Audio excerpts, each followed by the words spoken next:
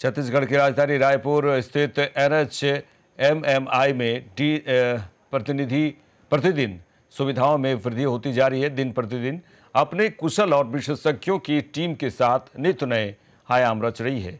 NH MMI Narayana hospital super speciality अस्पताल में नियमित रूप से कार्डियक प्रक्रियाएँ की जाती हैं।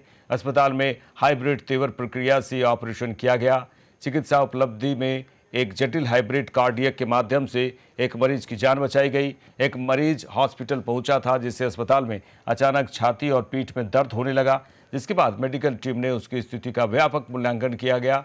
इस शल्य चिकित्सा में doctor P K Hari Kumar doctor Sunil Guniyal के मार्गदर्शन में इंटरवेंशनल कार्डियोलॉजिस्ट मरीज़ ने सीटी सहित इमेजिंग अध्ययनों के एक श्रृंखला से गुजरना शुरू किया।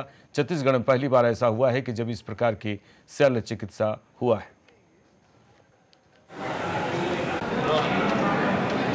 तो आज आज हम यहाँ पे प्रेस कॉन्फ्रेंस कर रहे हैं एक पेशेंट के बारे में डिस्कस और इन्फॉर्मेशन देने के लिए। तो ये जो हमने जो केस किया है, ये फ़र्स्ट टाइम एक हाइब्रिड प्रोसीजर किया है। वैसे तो हम इस तरह की जो बीमारी है, जिसे हम एरोटिक डिसेक्शन कहते हैं, चार पाँच साल से ऐसे पेशेंट का हम इलाज कर रहे हैं। और ये ये जो पेशेंट थे और ये जो बीमारी थी, ये थोड़ी सी डिफरेंट थी। उसमें ये हुआ कि एक पेशेंट हमारे पास आए, जिनकी उम्र अड़तालीस साल थी। और इन्हें बहुत लंबे समय से ब्लड प्रेशर था, जो थोड़ा सा अनकंट्रोल हुआ करता था। तो ये हमारे पास आए, कुछ चेस्ट पेन पीठ में दर्द पेट में दर्द, ऐसे करके आए थे यहाँ पे।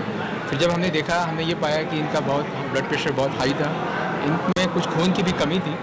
तो जब एसेस किया तो इसमें ये पाया गया कि इनकी एक आर्टरी होती है, जिसे एवोटा कहा जाता है। This aorta is the biggest artery of the human body तो इस अवोटा में एक बहुत लंबा एक क्रैक हो रखा था इसकी दीवार में।